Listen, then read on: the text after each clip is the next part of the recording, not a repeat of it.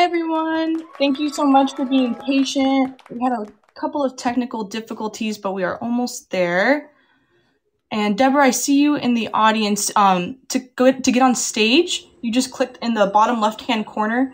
There's like a little circle icon with two um, equal signs, and you just click on that. And at the very top, it'll say um, "Turn on video." And if you click that, then we'll all be able to see you. Let's try that out, and then we'll jump get started. There we go. Perfect. Can you hear me? Yes, I can hear you perfectly. That's Awesome. today. we figured it out. You know, we live in an age where there's lots of tech issues, but it's all good. Good. All right. Well, I guess we better get started. So, hello, Firesiders. Welcome to Adventures by the Book, where our mission is to connect people and communities through the superpower of books. I'm your host, Amber Reinhart, and I am delighted to be hosting our first Fireside Chat of 2023 with actress and award winning author Deborah Goodrich Royce, which we're so excited to talk about her new book today, Reef Road, which I have a copy of right here. And the cover is just so beautiful. Um, and the book is really good. So I recommend it to anybody. Um, we're going to have Debbie in the audience. She's going to post um, in the little fortune cookie in the middle of the screen um, a link so that way you can purchase the book if you want to. So that's coming up soon. So keep your eyes ready for that. And today's approximate 45 minute chat is intended as a conversation. So, for those of you in the virtual audience on Fireside who want to jump in and talk to Deborah or I, um, you're going to want to go on to the bottom uh, left hand corner of your screen and click jump on stage, and we can invite you on here and you can speak with us directly. So, we really want it to be a conversation, um, and we hope that you'll join us later on. And then, did you know that if you are in the audience, you can broadcast this conversation live by again going to that little circle icon in the bottom left hand corner of your screen and clicking broadcast to the world. Um, hopefully, Debbie will do that soon. If not, um, I'll do it a little bit later. But other than that, I think we should get started. So, a little bit of background on Deborah. Deborah Goodrich Royce's literary thrillers examine puzzles of identity. Her books include Finding Mrs. Ford, Ruby Falls, and now Reef Road, which we're going to be talking about today. Um, Deborah began her career as an actress, starring as Silver Kane, sister of the legendary Erica Kane on the ABC soap All My Children. She was she went on to star in feature films such as April Fool's Day, Just One of the Guys, TV movies such as Return to Peyton Place, and The Deliberate Stranger, which I watched, and I really want to talk to you about that later. Um, and a series and other series such as Beverly Hills 90210 and 21 Jump Street. All exciting things. In her new novel, Reef Road, when a severed hand washes ashore in the wealthy enclave of Palm Beach, Florida, the lives of two women, a lonely writer obsessed with the unsolved murder of her mother's best friend, and a panicked wife whose husband has disappeared with their children, collide as the world shutters in the pandemic lockdown of 2020. So there's a lot going on here in this book, a lot to talk about, a lot to break down. We are so excited that you are here with us today. Deborah, everyone, if you can give a little round of applause, there's a little emoji that you can maybe do. Um, we're excited to get started. Thank you, Deborah. I'm so happy to be here. I'm excited to be talking to you as well. So, before we get into Reef Road, I always like to ask our guests um, just a little bit before you were a successful writer. Can you talk about where you grew up, your first exposure to books, and if there was a writer or someone in your life that you looked up to? Yeah, so I grew up in suburban Detroit in, um, you know, a town called Warren, Michigan, and I was an only child. So, of course, like so many, I was a big reader. I grew up reading. And I was thinking about that the other day. And in terms of childhood books, I would think of something like the the Secret Garden, you know, oh. going a little gothic. And then as a teenager, it really was Jane Eyre and and you know uh, Wuthering Heights and The Woman in White and Rebecca, all of those books. Uh, Anna Karenina. All I like probably a lot of girls. I read a lot of classics okay. first, which I think was just coincidental. I don't think it was a plan, but it was worked out well. I love that. I read a couple of those books. Um, I think classics really do pave the way and shape, um, you know, our love for literature, and that's I definitely remember that in high school reading a lot of those. Um, can you share a bit about your trajectory through all of your fields of interest before you were a writer, specifically your career as an actress? I'm sure that had an impact on your writing. Um, it did. So uh, I graduated from college with a degree in French and Italian literature and history. Ha ha. What you do that? So I had this weird idea that maybe I'd go to graduate school, you know, for foreign service. I didn't even know what that was. But I was cast in a movie as a background dancer, and that gave me kind of the false impression that it was a super easy business so I went to New York after graduating college, really to pursue dance, and ended up transitioning to acting. And I had a really nice 10 year run as an actress. I did a ton of commercials, and then my first big job was this big role on the soap opera All My Children. And I did that for a couple of years. And when I left that, uh, Paramount Pictures flew me to Los Angeles to screen test, which sounds so fancy, but it was like you know a coach ticket, and they put me in the Hollywood Holiday Inn. But it all felt really glamorous at the time. So I I did this project with the actor Christopher Lloyd, if you remember him, the guy with the white hair from Back to the Future. yes, great guy. So I did a pilot. It wasn't picked up, but I ended up moving to LA, and I had a really nice ten year run and in that run of acting, I did do that movie with Mark Harmon about Ted Bundy, which we can talk about. So the next stage, I had two children, got married, had two children, and the bloom was a little bit off the rose with acting. And my first husband and I had an opportunity to move to France. And we did that. He had grown up there. And in Paris, we're now into the early 90s, I was hired as a reader for a French film studio. They wanted native English speaking readers because they were investing money into British and American films. So it was a really nice entry level job and going a little more toward the editorial chair, which I inhabited for a while.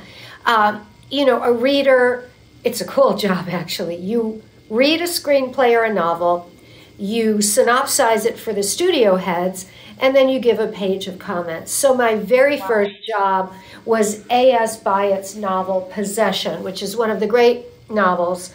And so I'm living in Paris, I'm reading for a living, and I thought this isn't bad. And we ended up moving back to the States, and that's when I was hired uh, at Miramax as the story editor. And a, a story editor at a film company is like a book editor. So I spent a lot of years in the 90s editing. And, you know, when you are in that desk editing other people's writing, it forces you to really think. And certainly I was working with some of the greatest writers in the movie business at the time. So that's what I did. And then I ended up leaving Miramax eventually because it was just a very demanding job and I had two children but got writing more on my own, uh, went through a divorce, remarriage, um, and in life, one of the crazy things my wonderful husband and I have done, we've done a lot of restoration projects, including a cinema called the Avon Theater in Stamford, Connecticut. And that was the genesis of a close friendship with the actor Gene Wilder, who became a, a, an encourager of my writing. And so there was just kind of this magic moment where I got serious about it. And I'm now on my third book. Know. And it, it sounds though like it's always kind of been with you that writing you know just like waiting to come through um but yeah that that dream job in paris sounds incredible. So that's exciting. Um let me be honest. I mean i think i was paid $60 a screenplay so it's you know it was a, you couldn't really make a good living but it was interesting and fabulous. That's a, that's awesome. Um i think now we should dive right into Reef Road. So if everyone can check in the middle of their screen where the little fortune cookie is, you can get your copy of Reef Road right now. Um, I think you're going to want to, especially after we talk about it.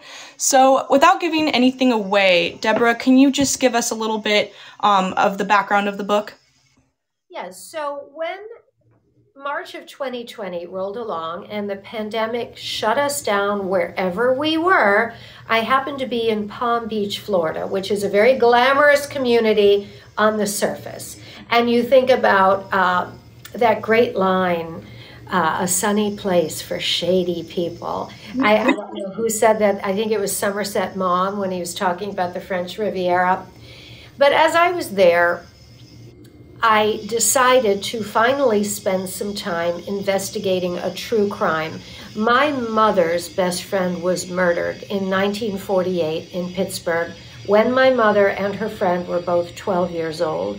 It was um, an extremely violent crime. She was stabbed 36 times and found in the kitchen by her parents, or in the hallway, the dining room actually.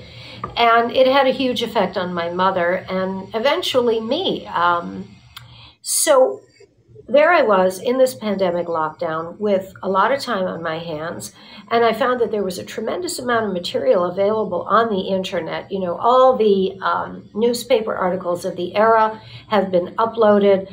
So, in doing the research, I decided I did not want to write it as nonfiction. First of all, I like to write fiction. I think in fiction you can really get to the essence of the truth of what you're trying to say without the encumbrance of all the pesky little factual details. So, what evolved out of that and this feeling of Palm Beach in this COVID lockdown and claustrophobia was a dual narrative of two women. There's a storyline of a writer who's researching the murder of her mother's best friend, and she's kind of an obsessive character, and she's researching all sorts of murder statistics. And then there's a, a more plot driven thriller, uh, which is the story of a young woman named Linda Alonso, whose very handsome husband and children disappear early in the lockdown. And security camera footage from Miami International Airport reveals them in their face masks uh, getting on a plane bound for Buenos Aires. And because of the pandemic and the border closures, she, this young wife, is unable to follow and find her family. So you have these two women in Palm Beach. You have them boxed in by this pandemic, and you start to peel the onion of what one story has to do with the other. It truly is um, a page turner. You know, uh, I could not put it down, and I haven't completely finished it, but I am halfway, and I cannot wait to see how it ends. Um, so, because you mentioned that it is a dual narrative and you do have the perspective of the wife and um, the writer's thoughts, right? Can you talk a bit about these two characters, their relationship to each other? Um, and I'm just curious, which one was easier to write for? That's a great question. So, I wrote the writer's voice in first person her chapters are a lot like journal entries. They're always called a writer's thoughts. And I really allowed her to go off in, in, digressions and flights of fancy, and it becomes a little meta. She does talk to the reader. Uh, so that's a very distinct tone. As I said, in the wife's chapters, um, that's, again, more plot driven. It it's structured like a book within a book. Uh, they have their own titles and their own chapter numbers. And uh, that's in third person close. I, I wanted to be at a little bit of a remove from Linda Alonso. Linda's chapters are very noir, and if you like the genre of film noir, you, you would know that you should pay close attention to the woman and what she's really up to in a story that's noir. So I think this would be true of Linda. I loved writing them both. I loved switching from head to head. Uh, I was able to indulge different things. Uh, with the writer, I was able to completely indulge my obsessive, neurotic side. And with Linda, I was able to indulge. I mean, she's a very sexy girl, so I was able to indulge that side a little more. Uh, you know, listen, they're they're both unreliable narrators, but I love them both. Yeah, in the best way, right? It keeps the story going. Um, so you identify the wife Linda early on, but you don't ident- um, reveal the identity of the writer. So can you share a little bit about your reasoning for that?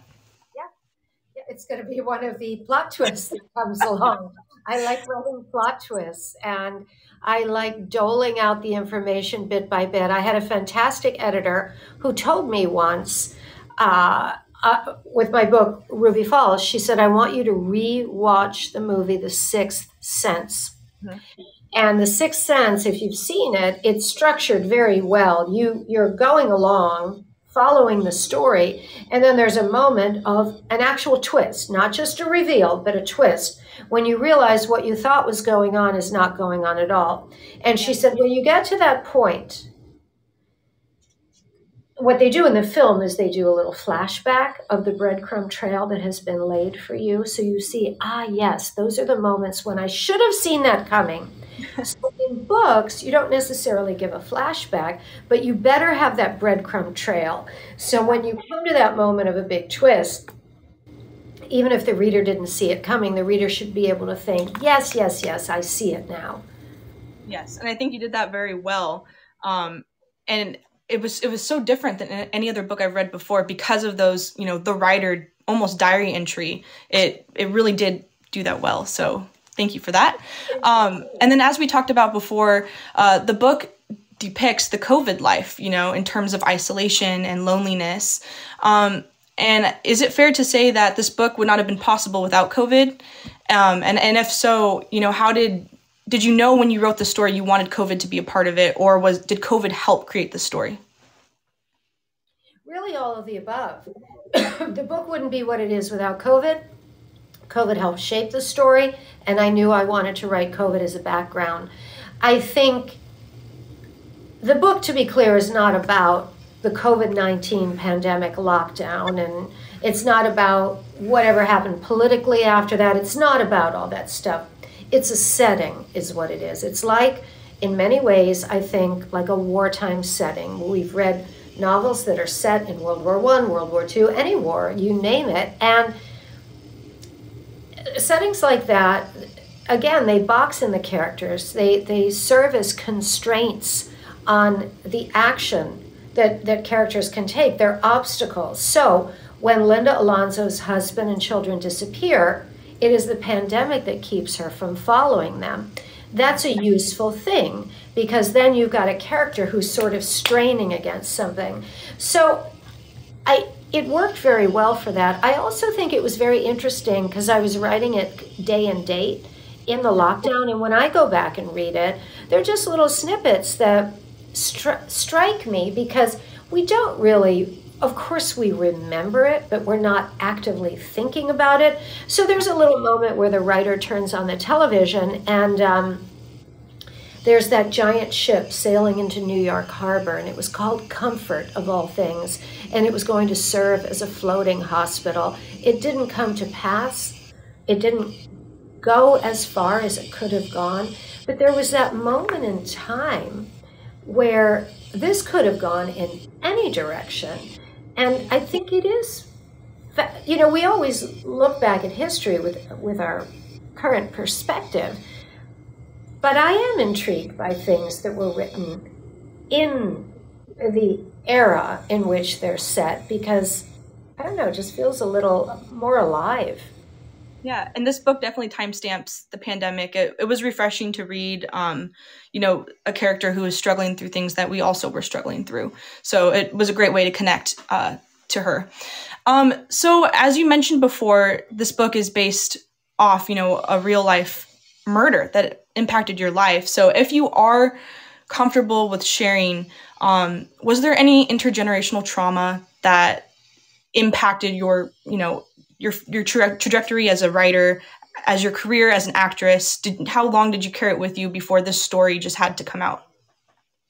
Yeah, that is really the most important question of all. That is the theme of the book. It really is about generational trauma and something, I don't know if there's a name for it, but a thing that I, I sort of call tangential trauma. Uh, you think about Michelle McNamara, and she wrote the book I'll Be Gone in the Dark, and she was very instrumental in solving the case of the Golden State Killer in California. And it, it killed her. She died in the middle of writing that book. But she was uh, as a girl, there was uh, another girl who was murdered in her town, and it it it has an effect on you. And I also mentioned Dominick Dunne in the book. Um, his daughter Dominique was a young actress who was murdered by her boyfriend, and it completely changed Dominick Dunne's life. He then became this reporter of sensational murder trials when before he had been a film producer. So these acts of violence happen and they don't exist in a vacuum. And where do they go and how do they eke out? Let's talk about this real crime, December the 10th, 1948, Pittsburgh, Pennsylvania. 12 year old girl is murdered. The brother is brought in for questioning four times. Yeah. Charges are never pressed. He was 19 at the time, so considerably older. I do happen to know that the brother was brought in again for questioning in 2008. I detail this in the book in a you know a fictionalized way, but that did happen. Um, so here I am. I'm the daughter of a girl who knew the girl who was murdered. This family doesn't know me. They don't know anything about me. But isn't it kind of extraordinary the things we carry and the effect of actions on people who would seem rather remote. And I think it is an important question to explore. I think scientists are exploring it. I read a really cool book recently called It Didn't Start With You about generational trauma, and they're really looking at it at a genetic level. Um, it's a thing. It, I love that expression. It's a thing. So, yeah, I wanted to look at it. I don't know if I have any answers on it, uh, but I think it's important. So, in it didn't start with you. One of the things they talk about is we can even carry trauma that we don't know about. Wow. And they go into great detail, case after case, of, you know, let's say you have a problem holding on to money you just can't hold on to money. You might work with one of these practitioners and realize you had a grandfather who embezzled money. So you're playing out some story that you don't know anything about and they talk about metaphysical work you can do or psychological work where you sit and concentrate on this grandfather in the case we're talking about and say love you, but this is yours. This isn't mine. I'm giving this back to you. So I've gone on a wild tangent, but it's a fascinating subject. No, I don't think so. I think, you know, for me at least, the first step is writing down what you're feeling, what you're thinking, and going back and looking through that. And then the next step is why. Why, why am I writing this down? So I think with your book, you know, it hopefully it helped you process what happened. But more than that, like I hope other people in the audience or other people reading it will recognize a part of themselves in it and it can help in that way. So, you know, you just have to keep putting your work out there and being brave. So, thank you for that. Um, so, to switch subjects just a little bit, you refer to quite a bit of um, clever literary devices in your book. And I'm going to totally butcher this name, so please correct me. But one of them was um, Deus Ex Machina. Did I pronounce that right? Machina. Machina. Okay. Machina. Yep. Okay. Perfect. Um, can you talk a little bit about, you know, the implementation of these literary devices? Did you do it in? Um, did you know going into the book that you wanted to include them, or did you find them along the way? Well, I knew about the devices before. Yeah. Uh, I didn't know I was going to include them, and that was part of the fun of writing the voice of the writer. She's very sly and she really does wink at the reader and she addresses the reader and she asks the reader questions. Can a writer do this? So Deus Ex Machina, and probably most of you know, but it's it comes from Greek drama and it's a, a device where the you know you the, the gods were brought in like, out of the sky to kind of fix a situation or change you know a situation and it's can, can often be a very cheap device when you can't get yourself out of a hole you you bring in you know an external and um, the writer is teasing about it because she's talking about a very real thing that goes on in the story, and it isn't really a deus ex machina situation at all, but it could be perceived that way. So that was fun. Yes, it was very fun to read. Um, and even as an aspiring writer, it's nice to learn new things. Um, and then, so I want to talk a little bit about your book jacket. I know most authors don't have as much say in it, um, but it's just so beautiful. It's stunning. Um, I think it gives a little bit of the plot away. Can you talk about if you had any say in it or just your thoughts in general on it? I did have a lot of say in it. I've oh, had great. a really fortunate experience where my publisher has listened to me on book covers. And for, I love all of my book covers. They're just gorgeous. So, there were two ideas we were playing with. We were playing with the street sign of Reef Road. It's a real street. And I love the movie Sunset Boulevard. And if you look at the movie Sunset Boulevard, it begins with like a street sign and it's very grubby and grungy. The, the problem, it looked a little, um, any version we did of it, it didn't look as professionally done. With this bird of paradise, so, and the spider in it. Yep. Just this idea of beauty contrasted with menace. And we spent a lot of time on the spider because you don't want like a real hairy, gross spider that looks so horrible to touch that people won't pick up your book. So what we ended up with is really a silhouette of a spider, and the spider is obviously symbolic, and but it's it is does happen in the book. There is. I'm not going to tell you what happens, but it is both symbolic and real. Well, I love it so much, and everyone in the audience can look at it for themselves in person if they go to the fortune cookie in their screen and get their copy right now. Um, that'll be there for the rest of the chat. Um, so before I continue with Deborah, I just want to remind the audience we've still got some time left with her. So now would be a great time to jump up on stage, ask any questions or comments, um, anything you want to know. The floor is yours. So while we wait for people to jump up, I have a couple more questions on the writing process and true crime in general, just because I am a huge crime junkie. Um, so reading your book was fascinating and you know talking to you is fascinating.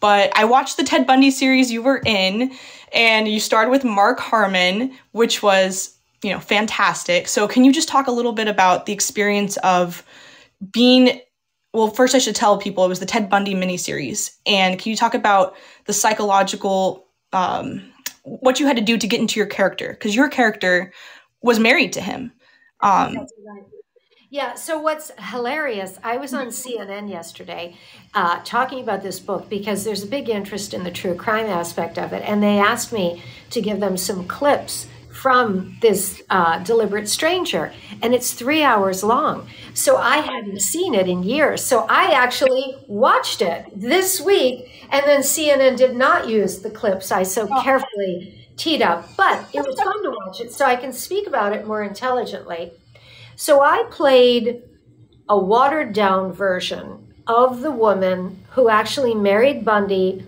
on the witness stand of his final trial in Florida uh, for the murder of all these sorority girls.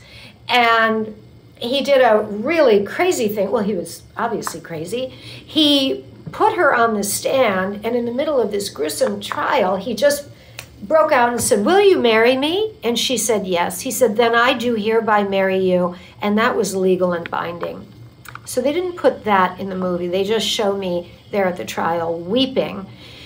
So, how did I get into her head? Well, first of all, I read everything I could about Ted Bundy, and, and this was the 80s, so there was a lot less available then before the internet. So, there was the book by Ann Rule.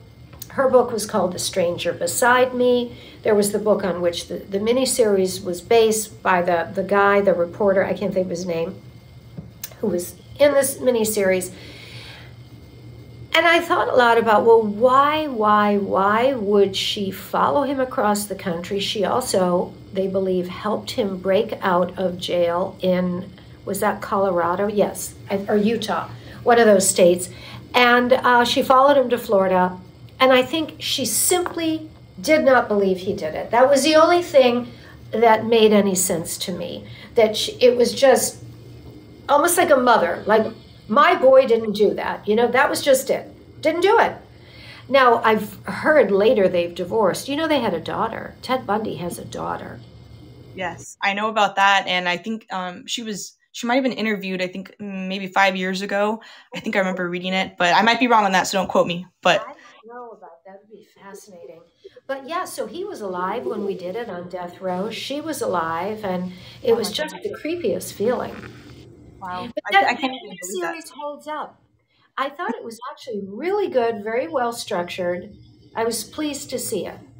Yes, um, it was fantastic, and I I am obsessed with true crime, so I have watched all of the ones on Ted Bundy, even the ones on Netflix that came out. So, you know, just for you to even be there and and be, have a front row seat into that crime is, you know, I can't even imagine it.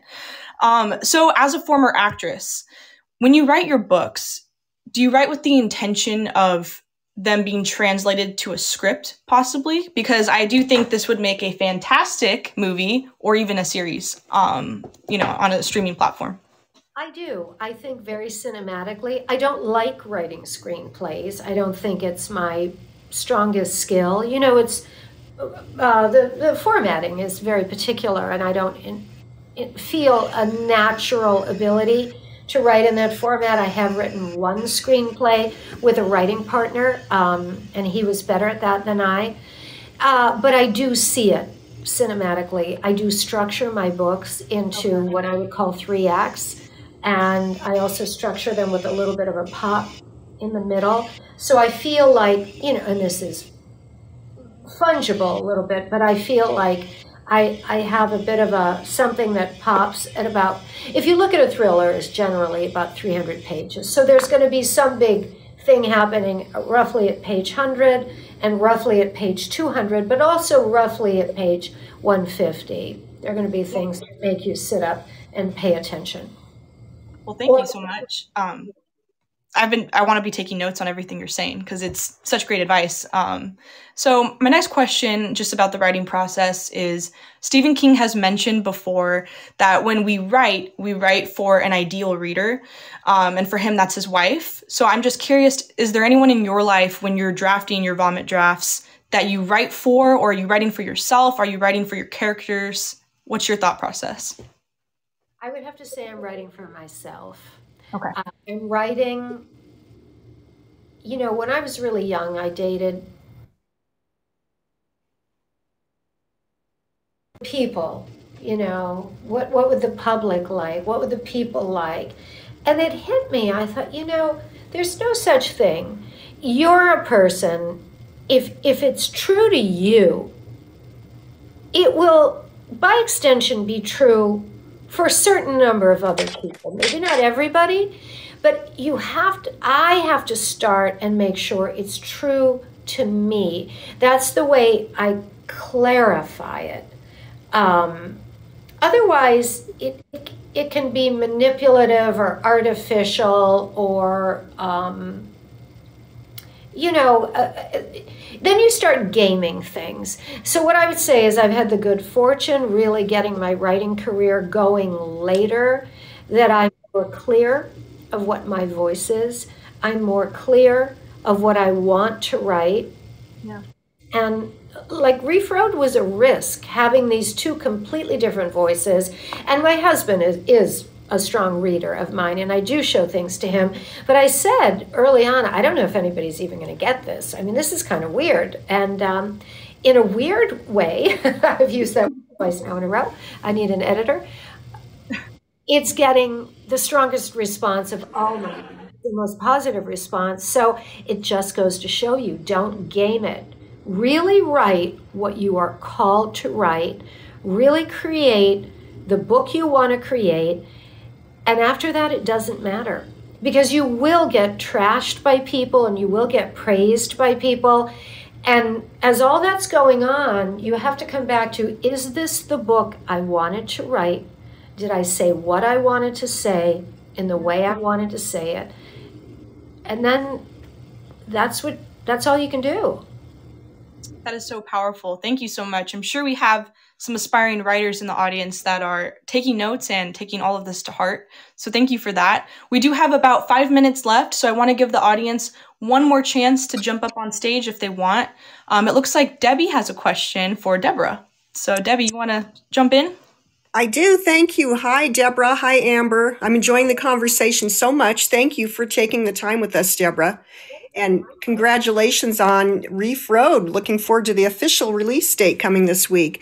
So, question for you. Well, first of all, um, I just I was looking at your website and and you had commented. You said your thrillers examine puzzles of identity, and I loved that so much. It really made me think. So, I'm not even sure what my question is related to that, but um, puzzles of identity. So people figuring out who they are, people figuring out what's going on in their lives. What what does that mean to you? So to me, in the in the thriller format, it really means figuring out the secrets that other people keep. You know, the meeting people who aren't quite who they say they are. I think we all have secrets and our secrets are generally speaking, quite benign. They wouldn't really make much of a difference to anyone about anything. But I have in my real life occasionally met people who have really whoppers of a secret. Uh, I, I knew a guy who was a fraud. And I, I knew him for years, and all these other people knew him. And it was just the darndest thing. And when it all came out that this guy was a total fraud, not at all from the country he said he was from. He had a fake accent. He had a fake British accent, and he knew a lot of my British friends. It was just so wild. But he picked a particular region. He picked kind of this Liverpool accent. It was so fascinating. And I was living in LA, and most of my British friends in LA were from London. So it, that was a clever bit. The weird thing was with this guy, there was no smoking gun of like why he did all that, but it was so darn intriguing. Like, why on earth would a human being do that? And how did nobody know? And that's what I mean puzzles of identity. It just fascinates me, stuff like that. Yeah, that is absolutely fascinating. Truth stranger than fiction, right? and uh, so I have one other question. It's not related to anything um, and this is really random, but it, um, it's something I've pondered before. And so I was reading some of your reviews, and one um, reviewer just basically put all caps, short chapters, exclamation point, and she loved. She loved your book. I haven't had the benefit of reading your book yet, but so it kind of just made me think about um, because for me, if I'm being honest, I'm more apt to read another chapter, read another chapter if it's a short chapter. It just keeps going and going and going. It seems like it's it's more uh, biteable size pieces, if you will. But how do you gauge what a chapter should look like, where it starts, where it ends? I, I know that sounds like a simple question, but there's probably a lot to it in the pacing that that goes into it is a lot to it, and my chapters are short, but they're not all the same length. It's not like every chapter is three pages or five pages or nine pages.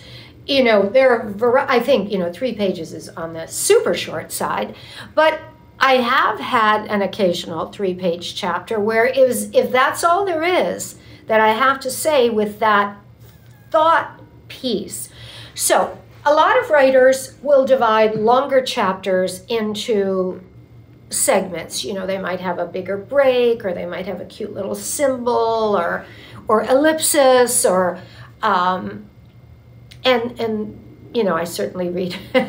I feel like a, a five year old. I read I read books with big words. I read books with big chapters too. But for me, the organization of a short chapter it doesn't change the length of the book, but it, it's sort of an organizational device. And maybe it comes from being having been on a soap opera, you know, where they come to that cliffhanger at, at the end of something where they have that like da da da da, and the characters are looking at each other.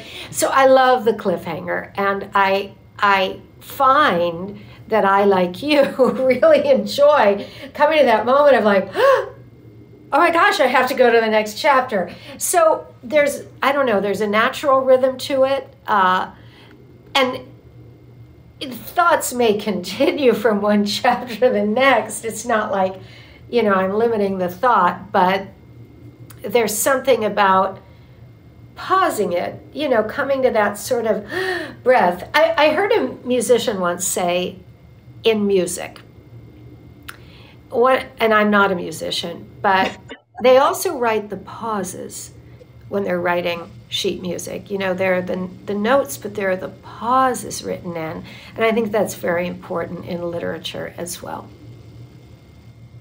Totally agree with that. Thank you for that explanation and enjoying this so much. And um, our book club had met with you a while ago for Finding Mrs. Ford, and we absolutely loved you. So I hope other book clubs will take advantage of spending time with you that you're available. So thanks so much, and I'll get off stage now. Thank you. Thank you so much, Debbie. Uh, we are winding down on time, so I just have a couple of closing questions. Um, one, I have to ask, just because I have you here, you have your extensive history, you know, being an actress in true crime series and writing thrillers. I just have to know why do you think we are so obsessed with true crime?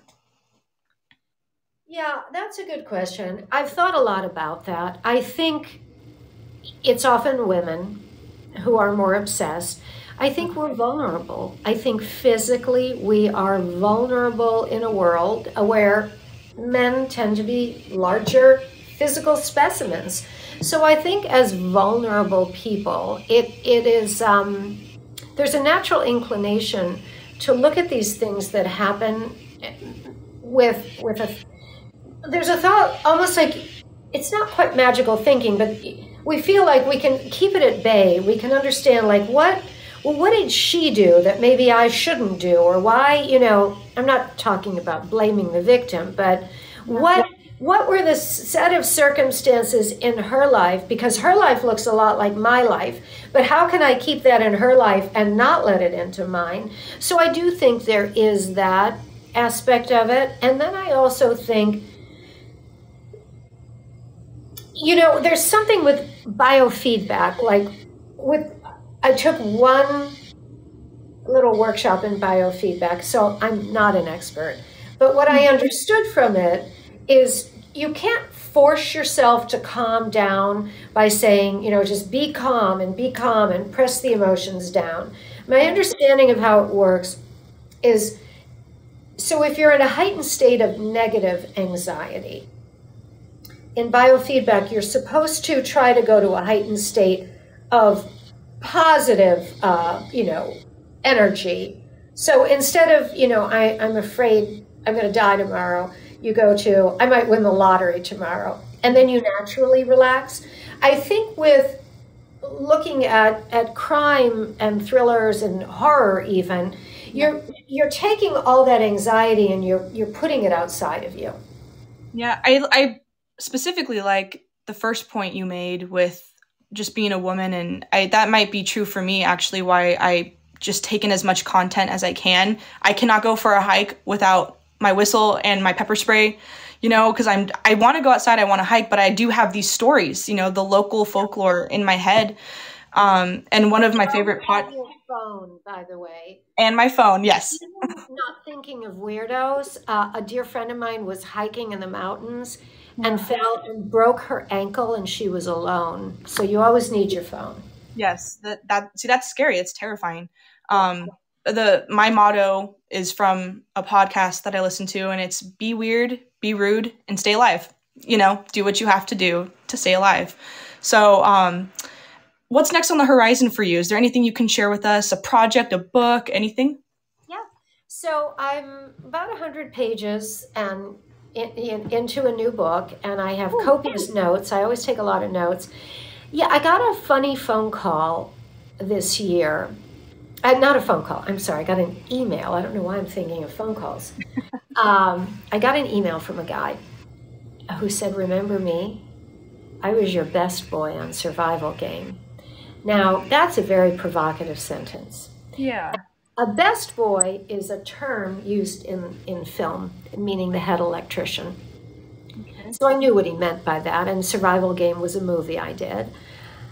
And he went on to share points that we shared, and I didn't remember any of them. And I got to thinking, isn't that a fascinating presence if a woman is contacted by a guy and he has all these things that theoretically they did together and she just doesn't remember? And is it her memory? Is it him? Is he truthful? Is he lying? And so we're working out the layers of that. Oh i love that. That's going to be such a psychological you know, hopefully a thriller but i love that um, and where can fans find you on social media so I'm super active on Instagram. That's my most prominent uh, place.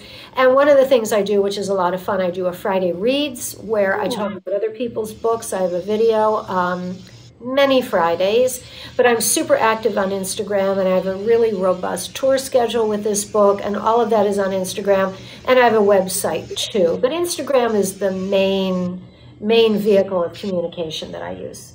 And for everyone in the audience, if you do click that link in the middle of the fortune cookie, it takes you to our event page where we have all of Deborah's um, social media links where you can have access to her. Um, so feel free to do so. And then my last question, Deborah, is there anything else that you want to mention or talk about that we haven't talked about today?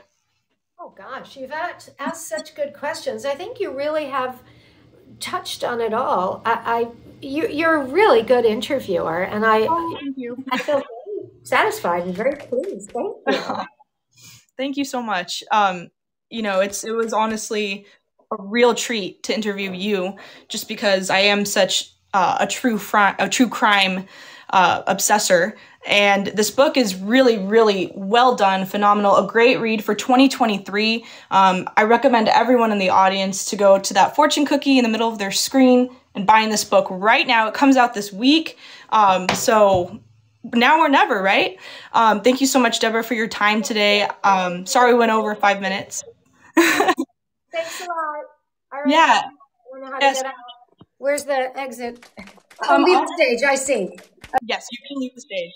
Bye. And for everyone else in the audience, I just want to thank you all for being here um, on Fireside with us. If you want to know any more about Adventures by the Book, you can click that in that fortune cookie, that link. It'll take you to our website, um, and you can get notified whenever we have any more fireside chats. But we also do Zoom events and in person events. Our biggest one is in SoCal um, in February, and it's called Superbook. And it's not Super Bowl, it's Superbook. And there's going to be 20 authors coming, um, all the all around from the United States, coming just to talk to you. So we really are. We'll be so excited to have you guys there.